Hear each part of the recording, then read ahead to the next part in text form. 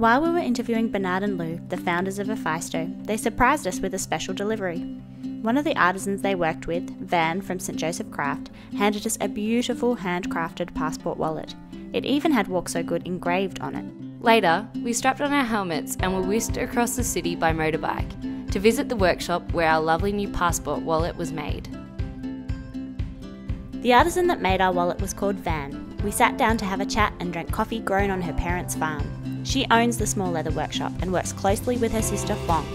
She learned how to work with leather from her brother in law. Van told us that it takes about one to two days to make the passport wallet that Efaisto gave to us. Her sister was working on a bag while we were there and had started work on it five days earlier. It was an incredible privilege to connect with Van and learn about the work she does. These days, it is such a rarity to meet and speak with someone that has actually made something you own. A big thank you to the team at Efaisto for making this happen.